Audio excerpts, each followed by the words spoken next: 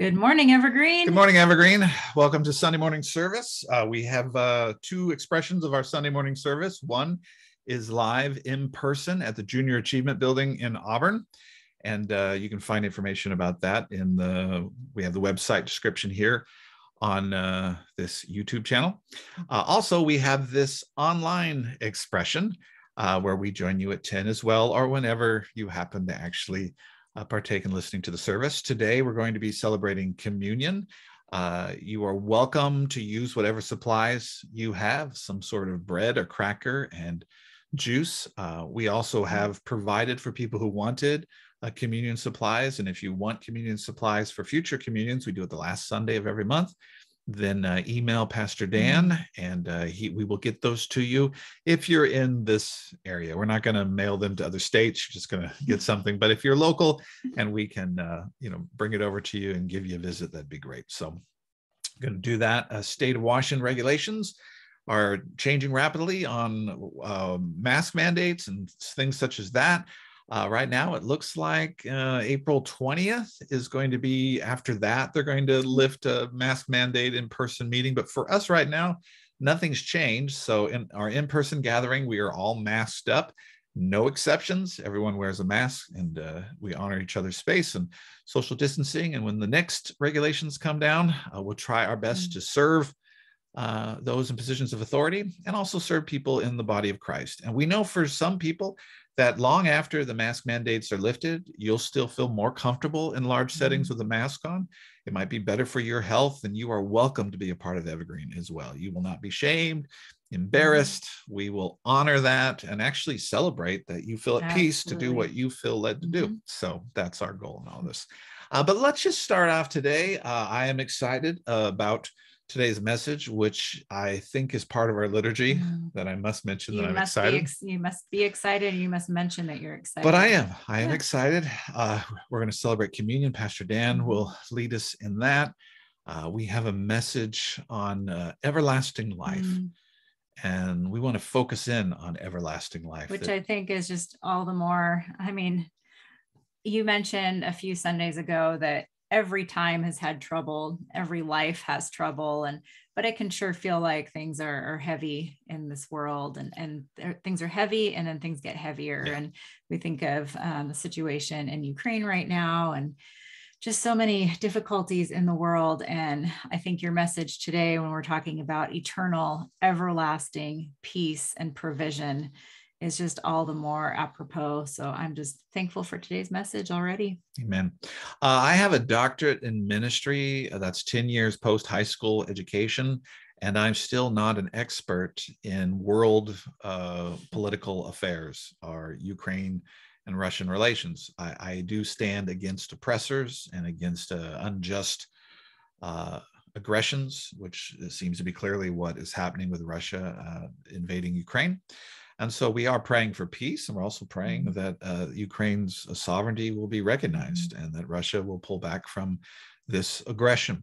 Uh, but with this, I'm just somebody saying that. I don't have any more mm-hmm. authority than anyone else. I just want to remind you of that. Experts are experts in their own field. Mm. We can certainly have an opinion. I have an opinion. You have an opinion.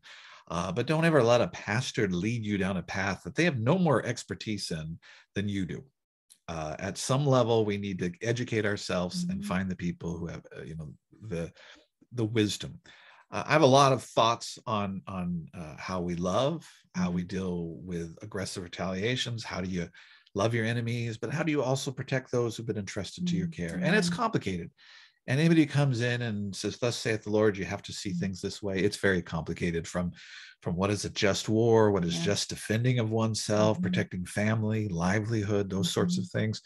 Uh, but prayerfully is what we all do. And, and that's what I would encourage you to do in any of these things to be prayerful before the Lord, uh, gain the best information you can as possible. And if you're passionate about something, think about ways mm-hmm. to be mm-hmm. redemptive. Uh, for instance, how to help mm-hmm. uh, Ukrainian community in the U.S., abroad, ways to be able to bring support.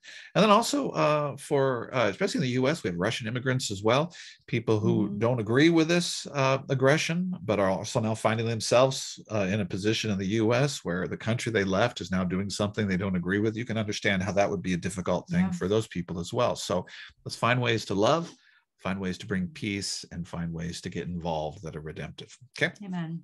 So, with that, let's start with prayer. Does that Mhm. sound good? Yes, yes, yes. Thank you, Lord. Thank you, Lord. Thank you, Lord. Thank you, Lord. Thank you, Lord. Lord, we do. We just come before you right now, God.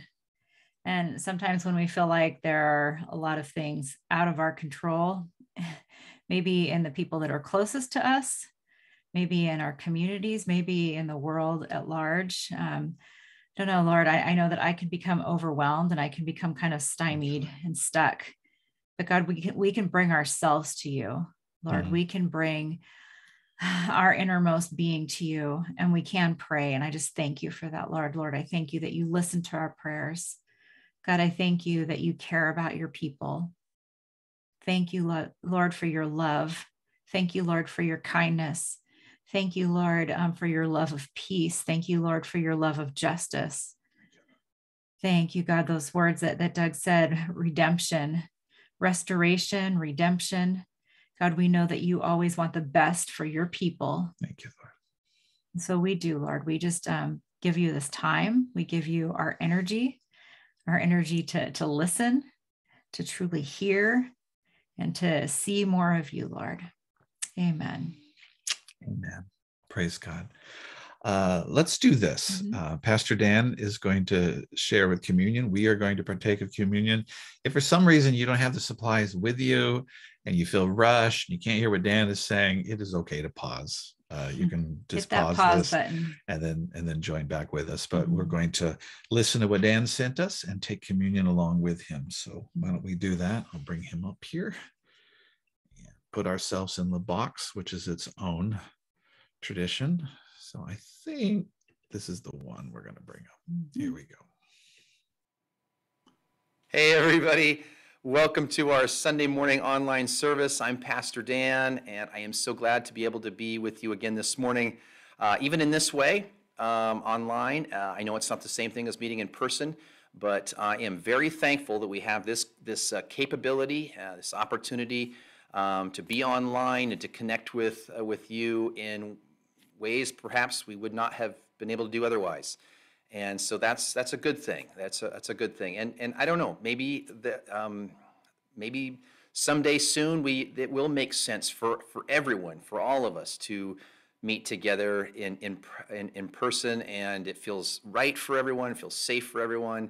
And, uh, certainly we don't put any time, um, you know, timeframes on that, but, uh, uh, you know, I do, I do think about that and I do pray about that. But until then, I'm, I'm glad that we just get to be together in this way this morning. And today we are going to celebrate communion. And in just a moment, I'm going to give you a moment opportunity to gather up any um, communion ingredients, elements if you have them, um, where we can uh, share communion uh, together. I also want to read to you um, a couple of scripture verses, and I'm going to make a comment or two about them, and then I want to come back to those same scripture verses, read them a second time, and then we'll share uh, communion together. Um, before we get to that, I want to remind you every last Sunday of the month, the last Sunday of the month will be Communion Sunday here at Evergreen. Um, and with that in mind, if you want to just, you know, be prepared or prepare yourself, have on hand uh, communion, you know, supplies, ingredients, uh, some bread, um, some grape juice, um, or something very close. Um, I suppose wine is okay. Um, I'm not going to be doing that. I, I have one of these pre-packaged uh, communion wafer and small cup of grape juice, but um, some kind of bread and, and grape juice, um, and then just having those available to you, or having those available with you, so that uh, on the last Sunday of every month we can we can share together. Um, well, let's just go ahead and, and get into this. I, like I said, I want to read to you um, a couple of scripture verses here, and this first one is um, the Apostle Paul, and uh, he is he's um, speaking to the church, and he says this. He says, "The Lord Jesus." On the night he was betrayed, took bread in his hand, and when he had given thanks for it, he broke it and said, This is my body, which is for you. Do this in remembrance of me. Then, in the same way, after supper, he took the cup, saying, This cup is the new covenant in my blood. Do this as often as you drink it in remembrance of me. For as often as you eat this bread and drink this cup, you proclaim the Lord's death until he comes. Now, I want to read a second uh, scripture to you here. And this one's actually from the Gospel of John. And if you recall, um, we have been um, we have been working through the, the book of John, the Gospel of John, uh, during our Sunday morning messages. Pastor Doug has been preaching from the Gospel of John, and then uh, uh, Pastors Doug and Jen together have been, and then they together have also been leading in a more in-depth Bible study, Bible reading, Bible study of the Gospel of John during our Wednesday evening online services. So um, you may recall some of these, uh, the scripture that I read, uh, that I'm, that I'm going to read, um, but uh, this is what Jesus says here. Truly I tell you, unless you eat my flesh and drink my blood, you have no life in, in you. Whoever eats my flesh and drinks my blood has eternal life, and I will raise him up at the last day. For my flesh is real food, and my blood is real drink. Whoever eats my flesh and drinks my blood remains in me, and I in him. Just as the living Father sent me, and I have life because of the Father so also the one who feeds on me will live because of me. Mm.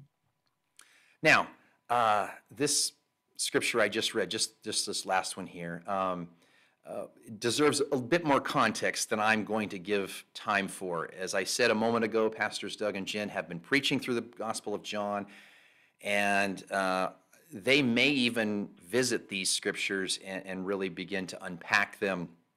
Um, the only thing I will say for our time this morning is, um, despite what seems like very cannibalistic language, uh, eat, eat my flesh and drink my blood, they, these scriptures are so very intimately tethered to resurrection and eternal life, the gift of eternal life.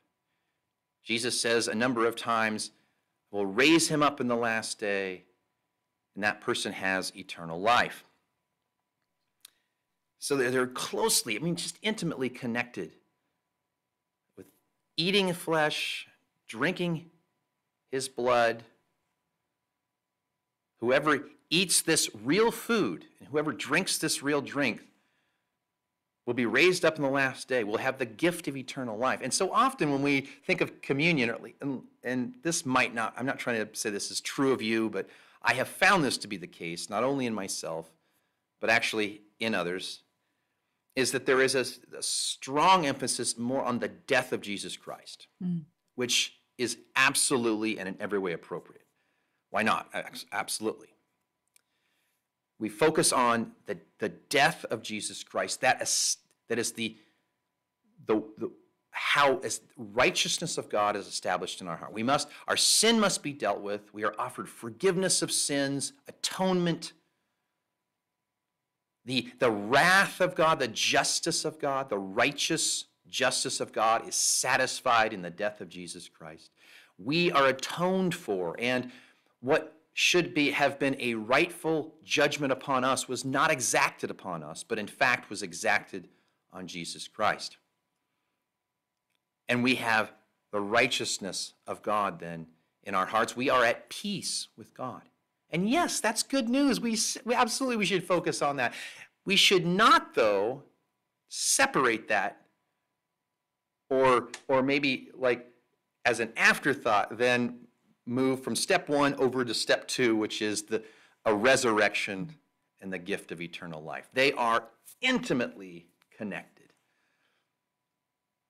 In the Old Testament, when the angel of death passed through the Israelite camp and an Israelite home or family had blood um, wiped on the door frames of their home and over the header board of their doorway, and the angel of death would pass over that home, over that family, and would not exact judgment, would not kill the firstborn. The next morning, there was an open door. The door was open. There, that family would be let out. That family could take a next step. There was a way forward. Right? There was, there was a plan of God. There was a purpose of God. There was the will of God. And that family or that home was then led out. And I think the same is true for us. I mean, we recognize absolutely that the death of Jesus Christ, we must acknowledge that we have sinned and the price for that sin has been paid on our behalf. And we are now, not by our own doing, but by a absolute, unimmeasurable, and unimaginable measure of grace. We have been spared. We have been redeemed. We have been made right. We are at peace with God. And, as Jesus says here, we have life. We will be raised up and offered the gift of eternal life. Jesus himself says this, and you guys I heard this already as I read it, just as the, and Jesus, he intimately ties it to himself. Just as the living Father sent me, and I live because of the Father, so also the one who feeds on me, who eats this flesh and drinks this blood, who takes of this real food and takes of this real drink, will live. And there's actually much more that he says here, and I said I couldn't get to all of that for our time this morning. Instead, what I want us to do is, well, let's revisit that first scripture I read, which is um, how the Apostle Paul is, is kind of, he, he needs to bring a reminder to the church, and it's actually in the form of a very stern correction because they are, they are abusing the, the Lord's Supper and or that that occasion of celebrating the Lord's Supper and not allowing everybody to have some, the poor not able to have some, and that's again for another time, but let's revisit what he says here. And actually, as we do that, I'm just going to take my communion um, supplies, my communion ingredients here, and it says, I'm um, sorry, hang on just a moment. Lost my place here. The Lord Jesus, on the night he was betrayed, took bread, took bread. And when he had given thanks for it, he broke it and said, This is my body, which is for you. Do this in remembrance of me. Lord Jesus, we do. We do thank you. We do thank you for the ultimate sacrifice on our behalf. Lord, we, we only by your grace are we able to even consume you, to, to eat of you, to, to take you into ourselves, to, to surrender to you, to allow you to, to, to come into us, to fill our, our every part of our being. And So, Lord, we do give thanks to you. We give thanks for the gift of the sacrifice of your Son, Jesus Christ, on the cross. That your body, bruised and abused, offers us divine healing. Now, do this in remembrance of the Lord Jesus.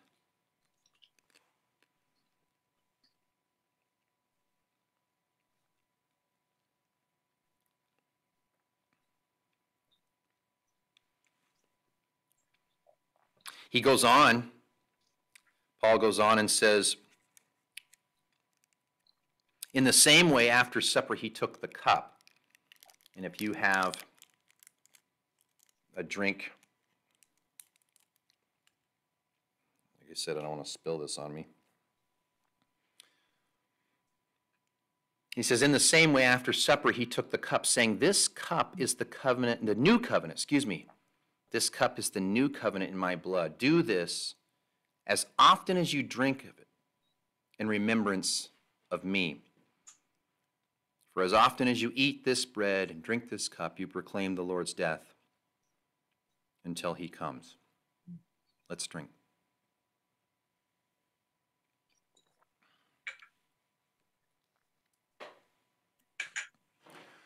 And Lord Jesus, we again we give thanks the shed blood of Jesus atones for us.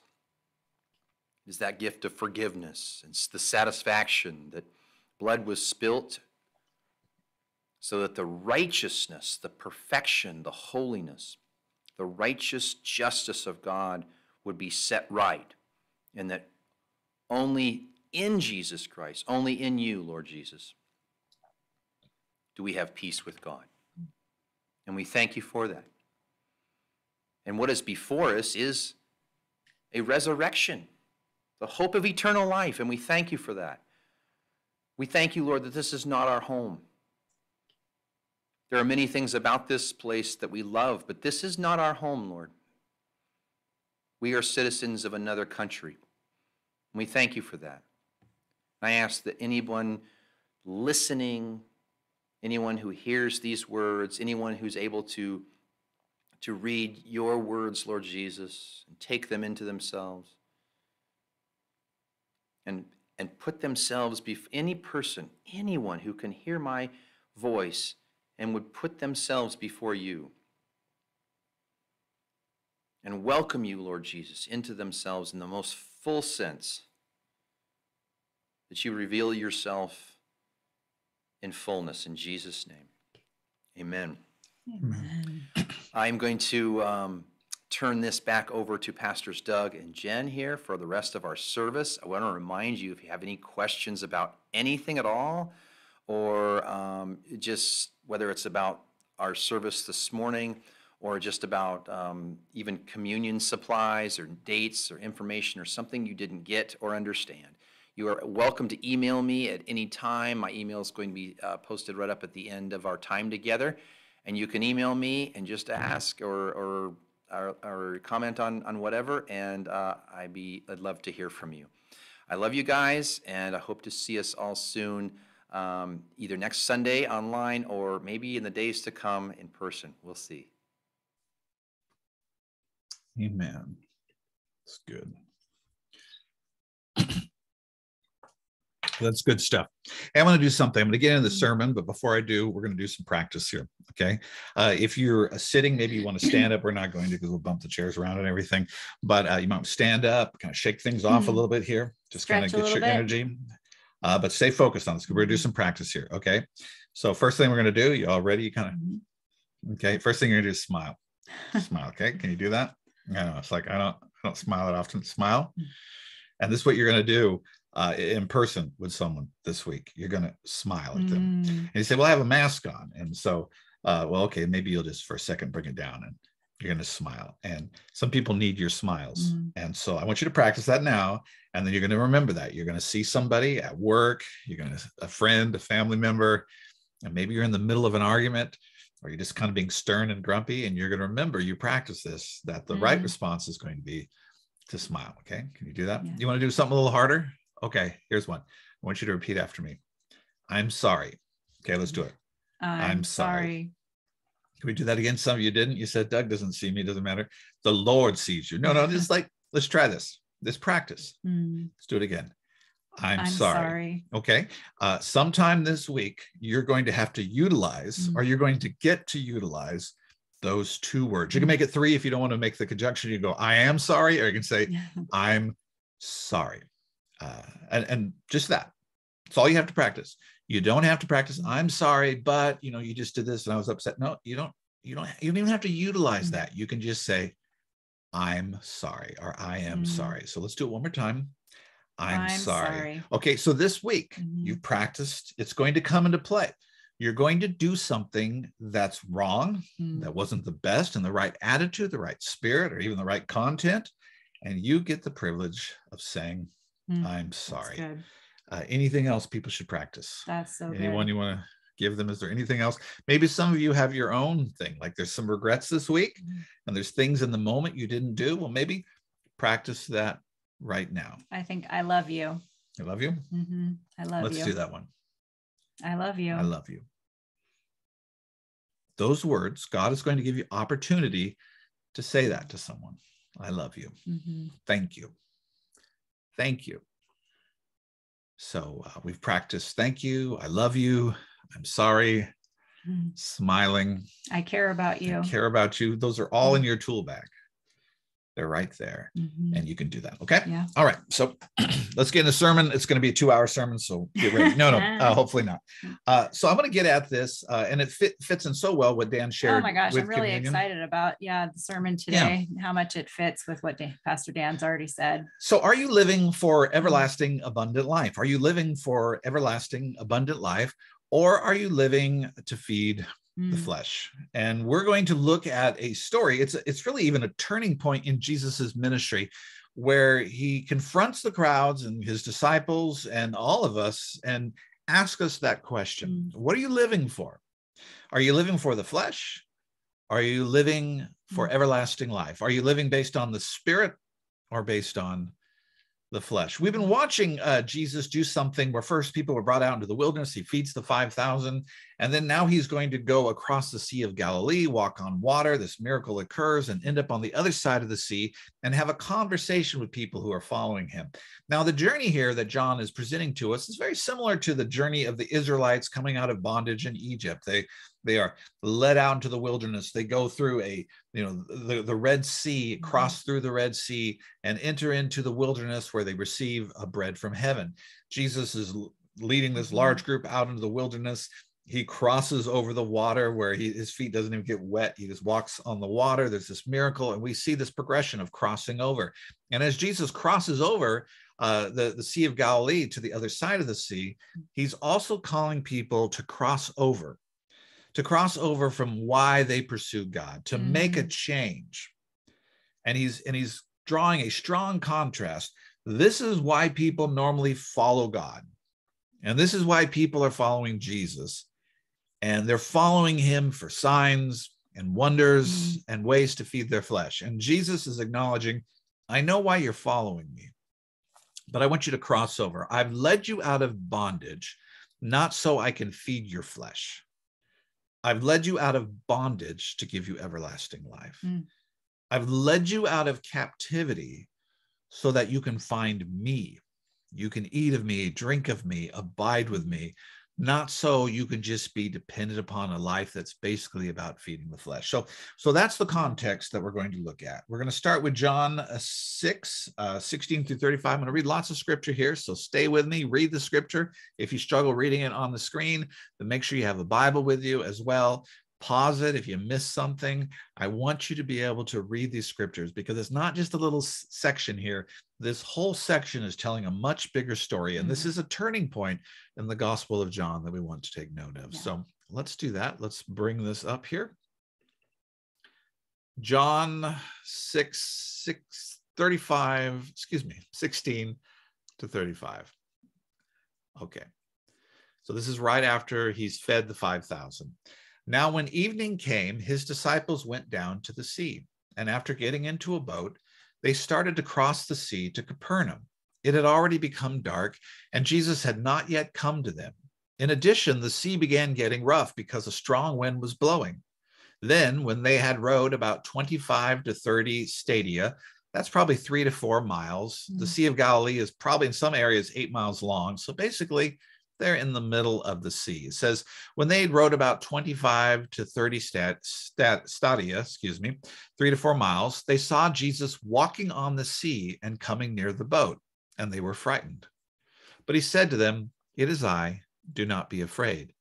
So they were willing to take him into the boat, and immediately the boat was at the land to which they were going.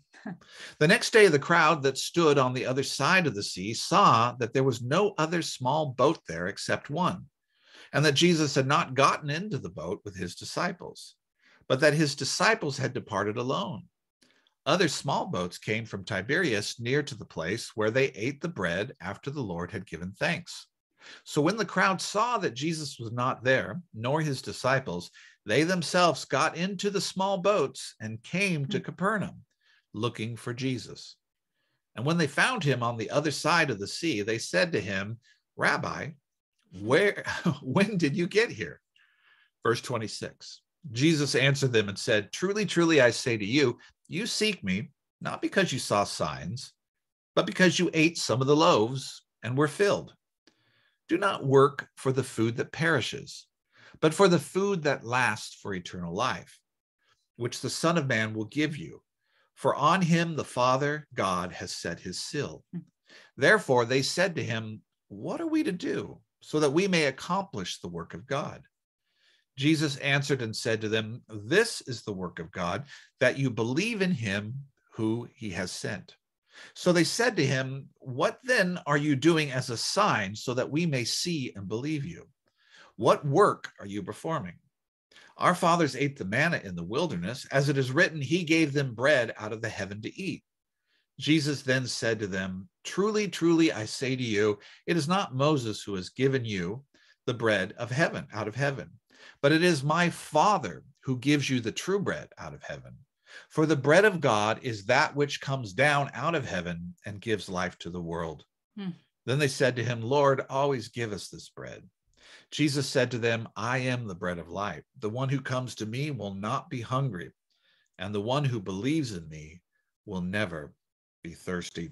Wow. Now, I want to read more of that section, but I want to just stop here and talk about what's really going on at the beginning of this. First, in this passage we read, it's the escape of Jesus and his disciples. And some of you might not notice that in this. Like, why are the disciples going on by themselves? You ever think of that? Why are they, why does Jesus leave them? Is it just to teach them a lesson? Why are they by themselves? And then why does he come to them later at night? Well, actually, uh, the verse before this tells us why. Uh, John uh, 6, or uh, actually, the verse before it, verse 15 says, this is after the miracle. It says, mm-hmm. Then Jesus, realizing that they were about to come and make him king by force, withdrew again to a mountain by himself. Hmm. So after that miracle, the 5,000 people, and there's more than 5,000, just 5,000 men, they're all gathering together saying, hmm. You are the Messiah. You're the one we're going to make king. Where there's this rallying of like, You're the one to follow because you're the one who provides. And so Jesus goes off by himself to escape the crowd. He disappears from the crowd, but the disciples remain. Hmm. So what happens? People are waiting. Jesus has just fed them. Yeah. He's just satisfied their needs. They're waiting for Jesus. Mm-hmm. And they look around and they see the disciples. The disciples at night get in the boat.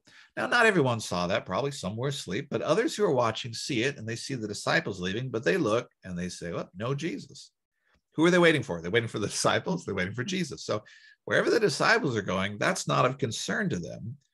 Uh, it's where Jesus is. So mm-hmm. the disciples are able to escape the crowd. The crowd doesn't follow them. Jesus now is praying up on the hill, and then he just walks down at night. Hmm. And I don't think he goes to where the boats are because he doesn't need to be where the boats to. are, right? so he just goes to some quiet mm-hmm. part of mm-hmm. the shore in the dead of night as the storm is raging and begins to walk on the water and leave town. He leaves at night. He leaves this crowd. And we know that because the crowd in the morning looks around and they're, wait a mm-hmm. second, where's Jesus? Mm-hmm. And the disciples are gone, but we can't find Jesus. Mm-hmm. And there's no boat that Jesus could have taken, which means they were even looking at the boats to see if Jesus was going to escape somehow. So then a group of them who had already followed him out in the wilderness are like, hey, let's follow him to the other side of the sea. So they all get in the boats and they follow him over to the other side of the sea. This is the great escape. And I just think that will help you understand why this is all happening at that time. Uh, now, here's the other thing that I want you to look at um, is um, the concept of why are these people pursuing Jesus? Mm-hmm. Why is the crowd pursuing Jesus? Mm-hmm. What's the reason? And you, you know the answer. They're not pursuing Jesus for Jesus's sake. They're pursuing him because they know that he gives food, mm-hmm.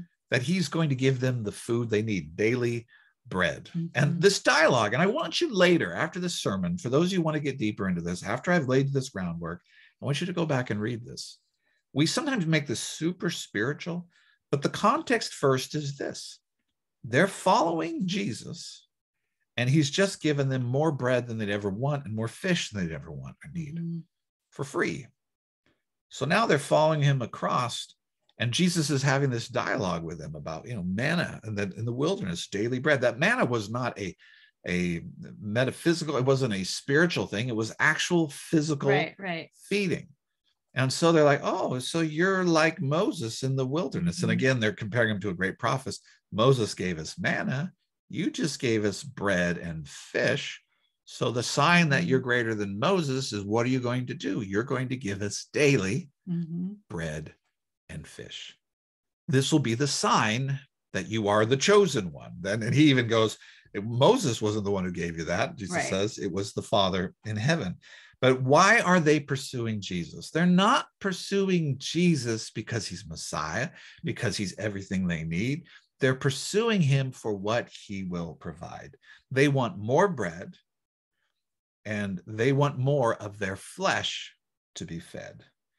Manna from heaven daily. And they're willing to follow him. And this is the exchange. They come over and they're saying, Yeah, we want this thing that you're providing, but they're not thinking in terms of eternity. They're not Right. thinking in terms of everlasting life. Mhm. This whole context, like all the questions are, What do we have to do in order to get this daily bread?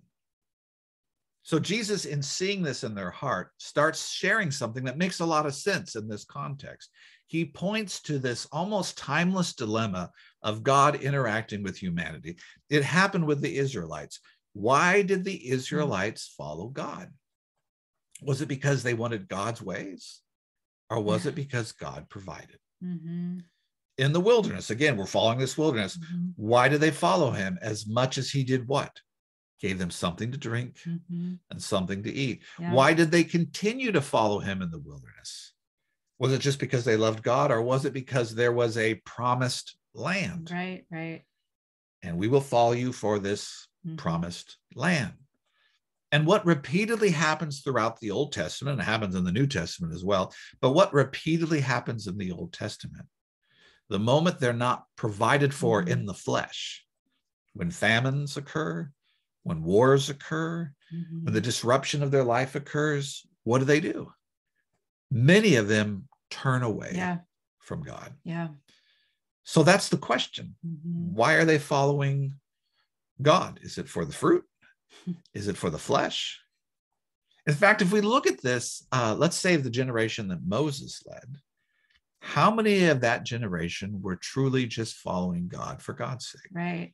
I mean, I think we get to read all of these stories, you know, with the benefit of knowing the spiritual implications of it and the, you know, kind of the message for our lives. But this is a, since the beginning of humankind, since the beginning of, from, from the time of creation, mankind, women, womankind has been out to make sure that my needs are met, that I'm taken care of, that I have what I need for today and can hope for my needs to be met for tomorrow. And not that they didn't understand that God loved them and cared for them and you know and not that they didn't maybe understand that this his statutes were beneficial for their lives but i mean it really is about looking out for like kind of self-preservation and needs being met in the here and now And the question is, were they following God for God's sake alone? Moses Mhm. says,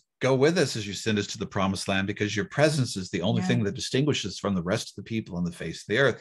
And Moses, even when he's forbidden to go to the promised land, prevented from going to the promised land, continues to follow Mm. God because it's the presence of God yeah that he desires more than the gifts of God. Mhm. Moses would be the closest example of someone who understood it. It's not about feeding the flesh. If Moses had only followed God in the terms of feeding the flesh, he would have given up on God long ago because Mhm. it cost his flesh greatly yeah to be the intermediary between humans and God. And i it- think he had those arguments with god right yeah, well, they're written in the Bible. He has those arguments. And in fact, he comes to a point where God says, You will not enter the promised land. And sometimes we see that as a punishment, but it's also the reward for Moses to understand what life is really about. Mhm. Moses is showing us it's not about the promised land. And you can get all the promised lands you want. You can get all the miracles you want and all the things that feed your flesh you want.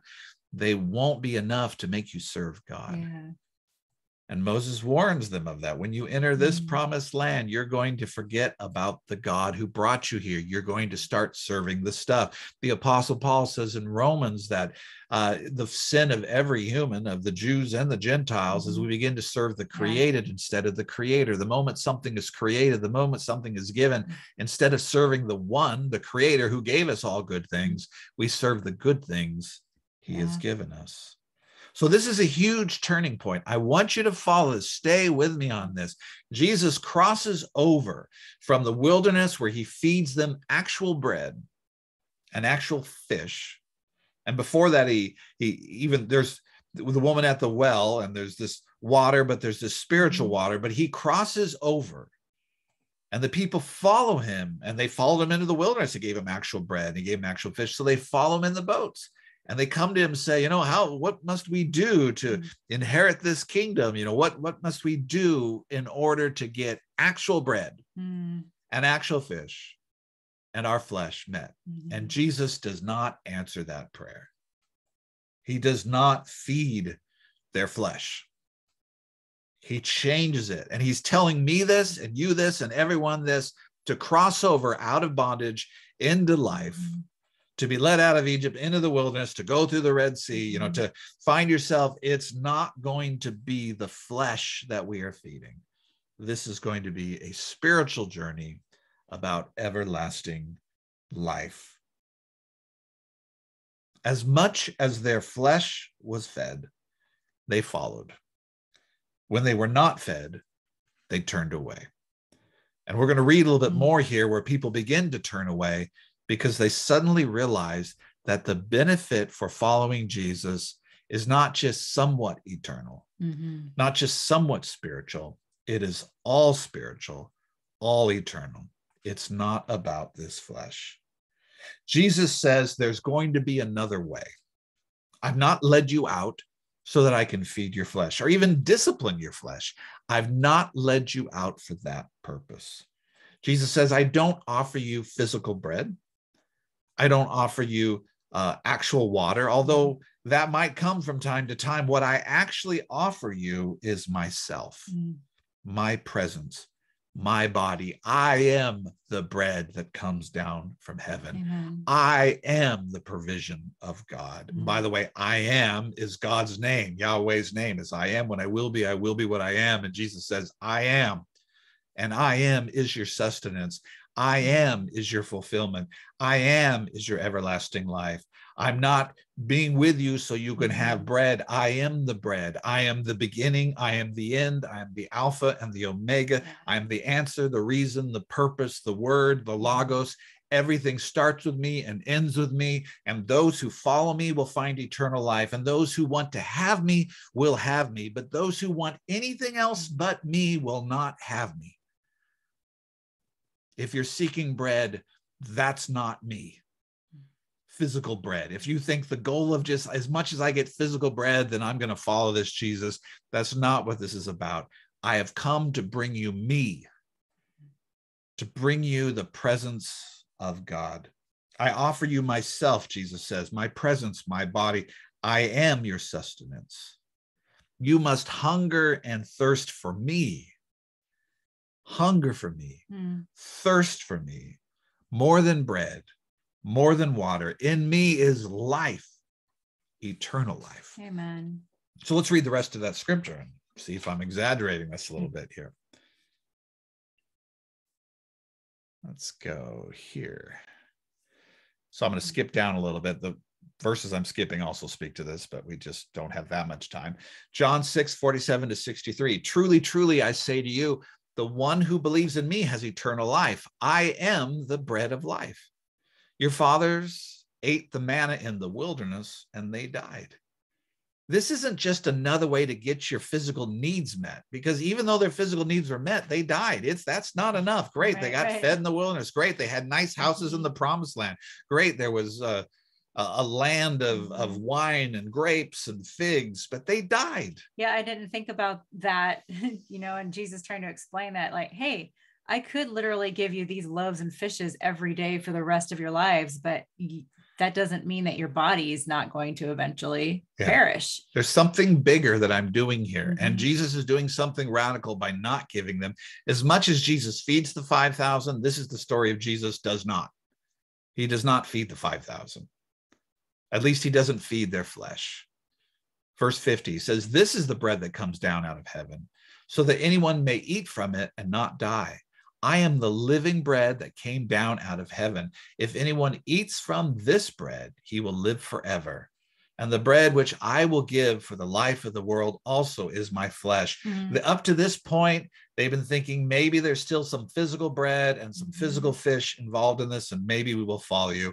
And Jesus makes it as clear as he can make it. There is nothing after Mhm. me. If you're waiting for something else after me, nothing will be provided. If you're listening to the sermon and so you can get actual food, then stop listening because the message of my presence, my words, my actions, that is life. Mhm. That is the bread. That is the wine. That is the sustenance. You will live forever, those who eat of me. He goes on to just hammer in the point.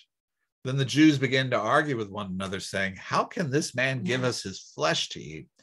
So Jesus, because they're still thinking bread, they're still Mhm. thinking, what, what is, and he, he's as clearly as saying, This is not about the flesh.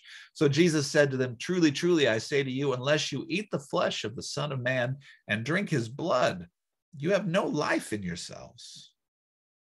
The one who eats my flesh and drinks my blood has eternal life, and I will raise him up on the last day. For my flesh is true food, and my blood is true drink. The one who eats my flesh and drinks my blood remains in me, and I in him, just as the living Father sent me, and I live because of the Father. The one who eats me, he also will live because of me. This is the bread that came down out of heaven, not as the fathers ate and died. The one who eats this bread will live forever. These things he said in the synagogue as he taught in Capernaum. So then many of his disciples, when they heard this, said this statement is very unpleasant. Who can listen to it? But Jesus, aware that his disciples were complaining about this, said to them, Is this offensive to you? What then if you see the Son of Man ascending to where he was before? It is the Spirit who gives life. The flesh provides no benefit. The words that I have spoken to you are spirit and are life. Amen. The words I've spoken to you are spirit and our life. Jesus clearly demonstrates his purpose for Mhm. walking amongst us in this passage. Mhm. Why is Jesus' statement so controversial?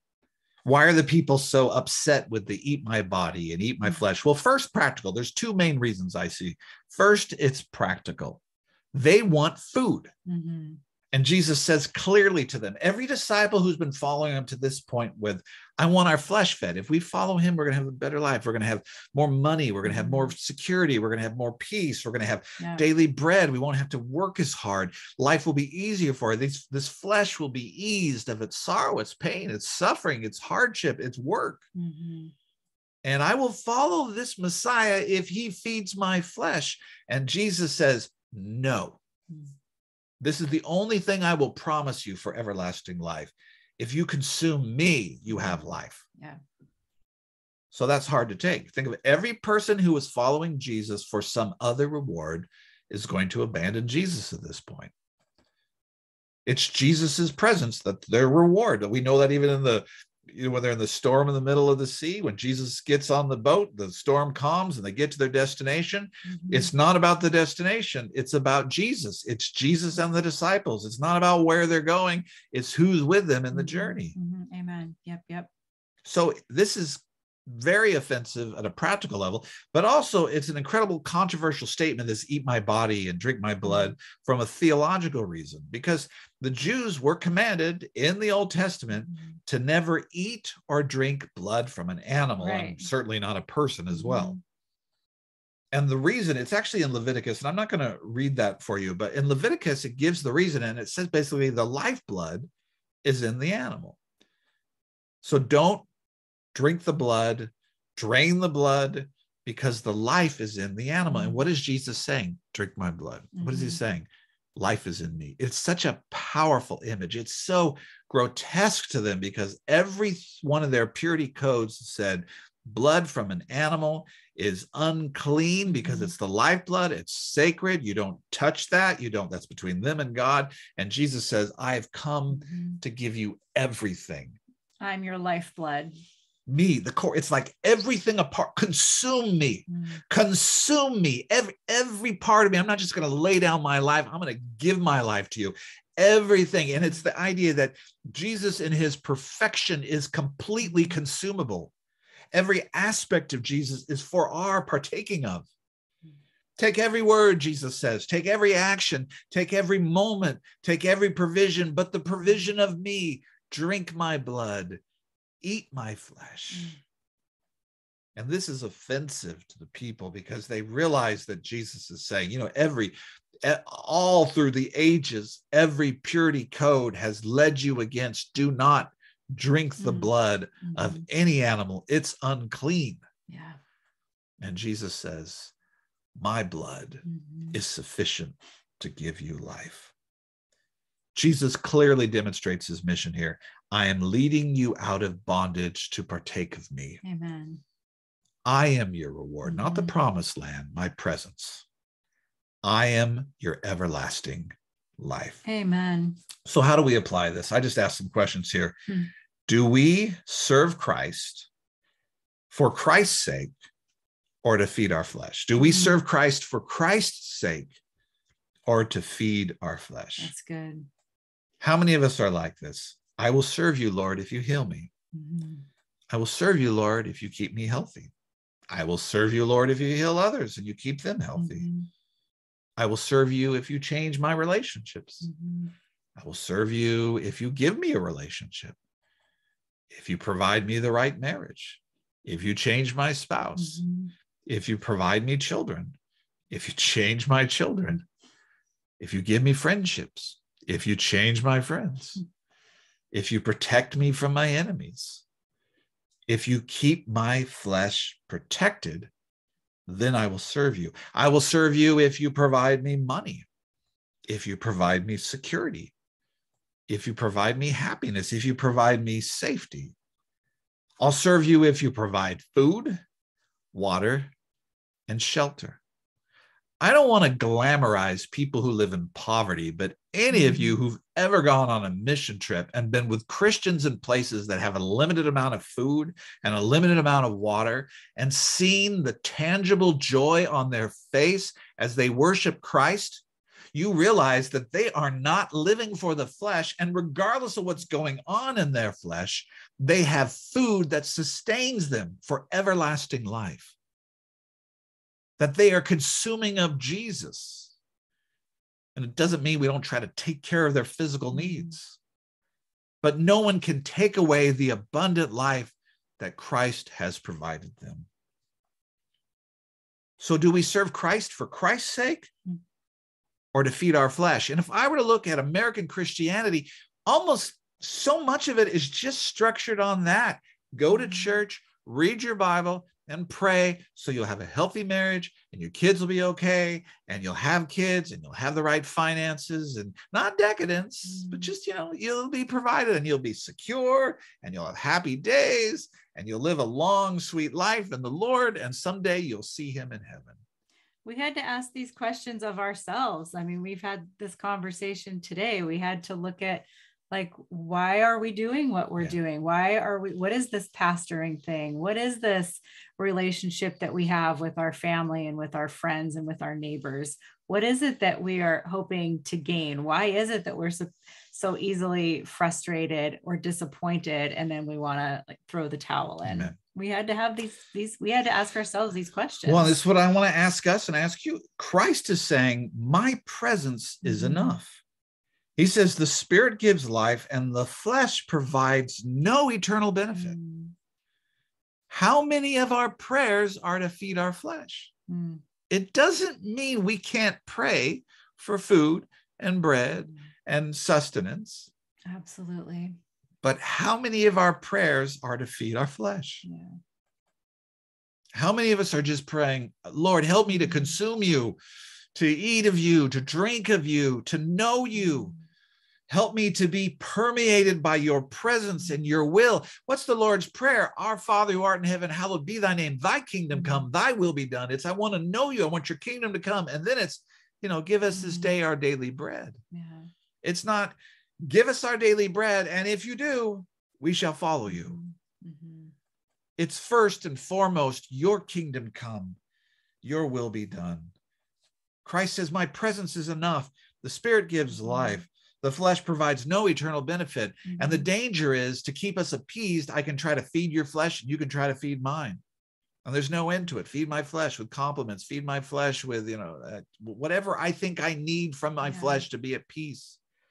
But Jesus says, I have sustenance for you Mhm. no one can separate you from the the bread and the wine Yeah. and the water and the sustenance the everlasting life i have for those who consume me and pursue me And Jesus doesn't challenge his followers with this because he's then going to just go away and leave them to figure this out. He, he challenges us with this because he promises to meet us in that place. The people say, Lord, what must I do? What? And he says, Your work is to believe in me. That's right So, can we grasp a hold of that, of knowing that our work is to believe in Him and we can believe in Him because He's believable and Amen. He's present for us? that's our work in any season and every season abundant life is in pursuing and believing jesus Mhm. is pursuing him what i want to do this week i'm just going to finish with this is i would like to call a fast this week a fast and you could fast every day uh, which means maybe giving up a meal every day. You can do it one day you can do it half a day. I don't really care how you do it. I don't care if it's food uh, it might be helpful to be food but whatever you feel called to fast you fast. But so often when we do fast if we're honest you ever been in a place like someone's sick that you love and you say i'm going to fast and pray so that person Mm. will be healed. That that that is a form of fasting and praying. But it's secondary to what we're first supposed to be about Mhm. which is even if I never get healed, God's presence is enough to Mm. sustain me. His Amen. body is enough for me. Amen. Even if the finances don't come through, Mhm. God is enough. And so, what a fast does is it makes room for the true provision of heaven. Mhm. Well, I can't have food, physical food to feed my flesh, but who can feed me as I'm fasting? Mhm. Jesus can feed me. It makes room for the eternal. It makes room for the spiritual. It makes room for us to see where our provision actually comes from. Amen. If anything, the deficits of the last two years have allowed us to make room Mm. for the everlasting life that is ours in Christ Jesus. Or we try to feed our flesh Mm. And maneuver the world to feed our flesh in different ways. Mhm. I want to pray with you right now. It's been a long message, lots of scripture, but it's a big point here. Mhm. Jesus does a miracle where he feeds, you know, what is it, 10,000, 5,000 men, probably 10,000 in total. And they're ready to make him, you know, the ruler of all because he's providing for their flesh. Jesus escapes that group, sends the disciples off, heads to the other side of uh, the Sea of Galilee. Some pursue him and pursue him for more bread and more fish. And probably in that, not just that, more power, more Mhm. influence, their, their flesh, security, peace. Mhm. And Jesus says, You want bread from heaven? Here it is. I'm the bread. Mhm. It's my presence. That's what I give you. I don't give you anything more than that. And I don't give you anything less than that. Yeah. You can have all of me. Amen. The people walk away Mhm. sad. The people who are pursuing Jesus to feed their flesh. Mhm. The people who are pursuing Jesus for everlasting, abundant life rejoice. Mhm. They say a little later, Where would we go? We can't go anywhere. We've given it all up. You are our reward. Amen. Amen. Let's pray. Thank you, Jesus. Lord, I ask that you'd help us to embrace that, not to run away from that. I see people right now are still trying to, you- you're Mm. still trying to turn this faith into something that feeds your flesh. And would you just die to that? Would you die to that? Can Jesus be enough? Mhm. Can his everlasting life be enough? Lord, I, I just believe, and I say this, but in my heart, I grumble and I complain. But I say this with faith, believing it to be true, that you don't need to do one more sign or wonder in my life to follow you. Mhm. You don't need to provide uh, any fleshly provision for me to follow you. You are enough. Mhm. You don't have to provide safety. You are enough. Thank you. That you have ensured us Thank to have Jesus. abundant Thank you, life, that we will not face death, we will not face destruction, Mm. But that we have everlasting life. And all we have it in is by pursuing you and believing you and consuming you. You, you do not run dry. Thank you, Lord. You do not diminish. You are the river of living water. Thank you, Lord. You are our sustenance. And we drink of you Lord. and we eat of you. Thank you, Jesus. Thank you, Lord. Thank you. Thank you, Jesus. Thank you, Lord. Thank you. Amen. Lord. So, what kind of fast do we call? I'd like it to be a fast that's not about getting something from God. Mm. God might do stuff and just bless you because he's a God of grace and love. And there's all kinds of miraculous provisions that help our flesh. But let's not pursue him for that. Mm. Let's just cross the Sea of Galilee to Mm. find him, to consume him, his mm-hmm. words, his presence. Thank you. So give up something, give up food, give up comfort. Mm-hmm. I don't know what it is. Just give up something mm-hmm. and then welcome the provision that you have every single moment of your day, of your life.